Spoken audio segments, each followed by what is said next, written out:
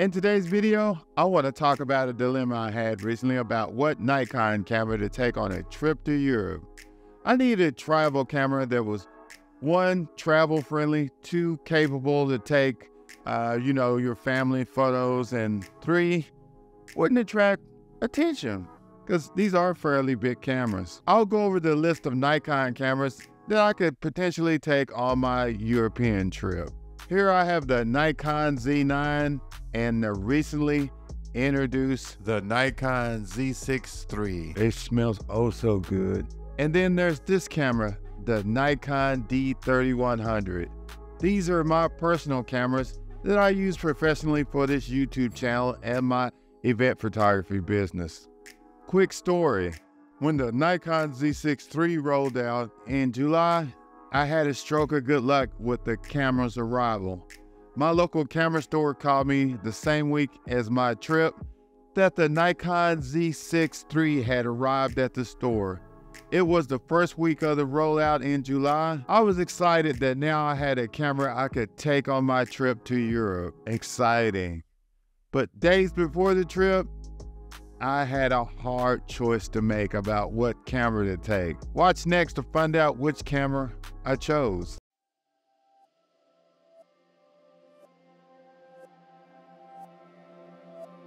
But let's start off by me introducing myself. If you're new to the channel, my name is Von. I've been away from YouTube for a while. I had to work my full-time job, my weekend photography business, and plan my vacation in Europe. But yeah, I'm thinking I'm back. Let's get started. Here I have the Nikon Z6 III, which is also new, and it checks most of the boxes for a travel camera. It's perfect for travel with its 24 megapixel, excellent autofocus, and video capabilities. Don't forget about all those lenses you can use for places like Paris, London, and Bilbao. It's a city in Spain. Yeah, I know it's hard to say. Next up is the Nikon Z9. It's too bulky, so you probably already figured out it was gonna get left behind. Now for my most cherished camera, the Nikon D3100, a crop sensor camera. If you watch any of my videos, you'll know this camera is my favorite Nikon camera of all time. It was my first love, and as love goes, I had to find another camera to give it a lifeline. After all, this camera is 14 years old. Nikon wasn't known for video back then, so I added an iPhone 15 Pro Max to the mix to help out with the video because the Nikon D3100 video isn't that good. Many of you are probably saying, why didn't you just get a Nikon ZF? My wife, I don't want to hear it again. Another camera? How much did that cost? You know the routine if you buy cameras regularly. I have about four or five myself. After watching the rest of this quick video, you'll know whether my decision was smart or idiotic for picking this D3100 and the iPhone Pro Max combo. Please subscribe if you want to get more videos about Nikon cameras and how to use them. Now for the reasons I chose the Nikon D3100 and the iPhone Pro Max lineup. Reason number one, capabilities. The Nikon D3100 was first announced in 2010. This Nikon D3100 is a bare bones camera that is a DX or crop sensor camera that has a 14 megapixel sensor. Think about it for a moment. 14 megapixels is enough megapixels if you're not doing any serious cropping. Plus, the photos you're taking on the trip are usually for social media or for Facebook, you know, for people in my age group. And if you're still doing photo albums, then this is the camera for you. Remember, you're on a vacation, not a photo shoot. I love this camera because it's great for beginners and it teaches you to do compositions better than cameras with higher megapixels. Want to learn the rule of thirds? Here you go, no cropping allowed. Let's move on to my favorite feature of this camera. I want to talk about its dial. Look at that. See that dial? It's got different modes. It's got a program mode, shutter mode, aperture mode, just like your normal camera. It's even got presets mode for landscape and portraits. This makes it easier to get shots without guesswork. I'm a manual shooter myself, but this camera lets me take the day off. Plus, if I find a few questionable shots, I can fix them in Lightroom. Lightroom wasn't that great back when I first purchased this camera, and I just used the Nikon software, the NX software, because Lightroom cost a pretty penny back then, and plus it wasn't that great. For the rest of the capabilities of this camera, I will do a quick overview. Here are the specs. No flip screen. It has a HDMI port, very simple.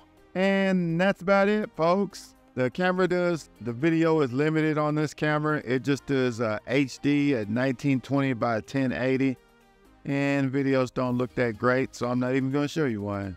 For this trip, I used my iPhone 15 Pro Max and the D3100, and I didn't have any regrets. Next, I want to talk about the iPhone 15 Pro Max. I will list the capabilities of this camera in the descriptions because the features have already been widely covered. iPhones use computational photography to enhance photos using advanced algorithms and image processing tools.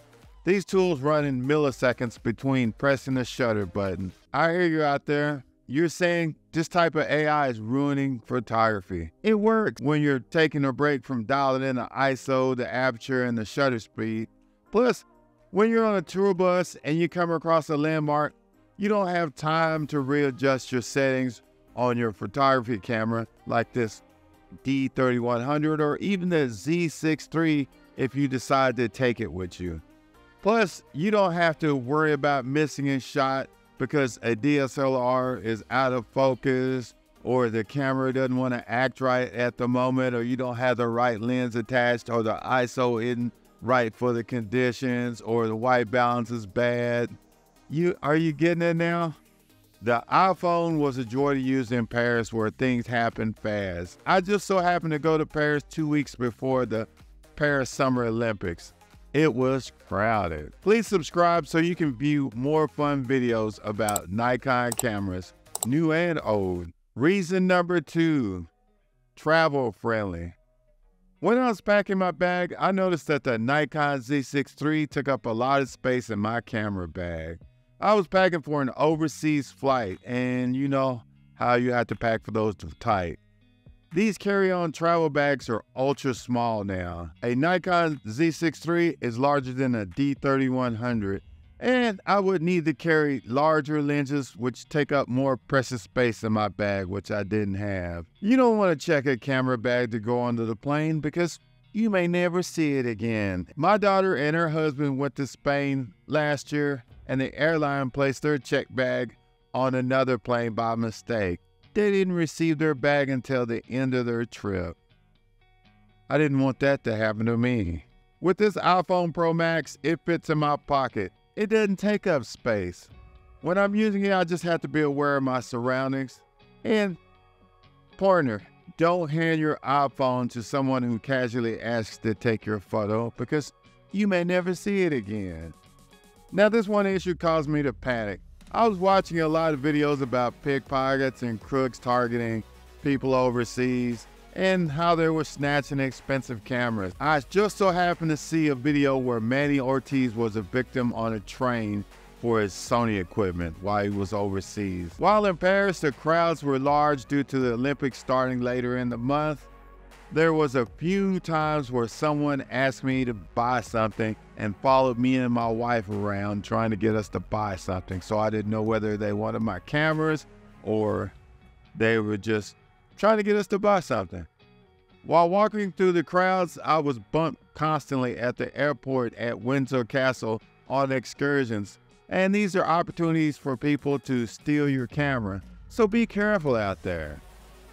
Now on to Reason number three privacy or privacy, as they said overseas across the pond.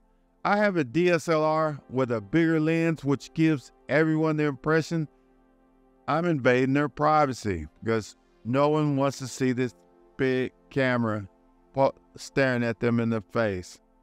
Imagine having a Z6 III with its larger body and lenses. It screams these photos are being used for professional use. They might even end up in a mag overseas. Let me tell you a quick story about previously while I was in London. Uh, while I was at the Windsor Castle, I took a photo of a group of school children that I wanted to show my grandkids. I had walked away from the scene. 10 minutes later, I was asked to delete the photos by a charming older lady. I didn't know whether she was part of a security detail or she was just a concerned citizen. She watched as I deleted the photos. I don't know whether these children were high profile or members of the royal family. I've just complied because I didn't want to get my passport taken away, and that's what you fear when you're overseas. I can't wait to get back to America where you can put a camera in someone's face. Now, the final reason, reason number four quality of photography. Now, the Nikon D3100 isn't a professional camera, but for travel photography, you can't go wrong unless you just buy a bad copy used of this camera.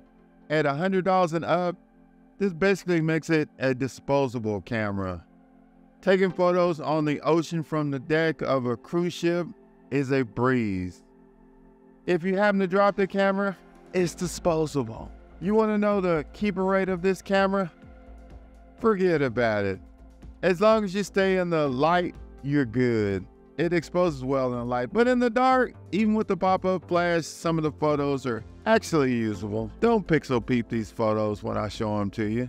These are for fun. I use this iPhone Pro Max to take photos of landscape, me and my wife, and other scenery. It was excellent. It was good standby when I didn't have the Nikon D3100, and it they just work great together. When I didn't have this camera available, or when I was in a tight space, I could use this camera. This combo works great. So think about it when you're traveling, and you'll come out on top. When you don't want to carry this or you don't want to carry a big bulky camera, then you can have this available. This works just as well. The photos from the iPhone 15 Pro Max are great. If you want to post something once you get back in the USA, you can post it while you're staying at the airport waiting on your next flight. Unlike this digital camera where you have to take it out, put it in the laptop, and then post it, and maybe even process it. For all you photography guys out there, which photos do I prefer? I prefer the Nikon D3100. Here are some photos, and if I didn't tell you which camera took the pictures, would you even know the difference? I will post the photos online so you can examine them for yourself. The site to my European trip will be in the descriptions. Please remember that the camera you have in your hands is the camera you need. Having a Nikon Z6 III or a Nikon Z9 doesn't mean you always have to carry these cameras when you have a versatile camera like this Nikon D3100. And as always, please subscribe and watch my other videos on Nikon cameras and thank you for watching.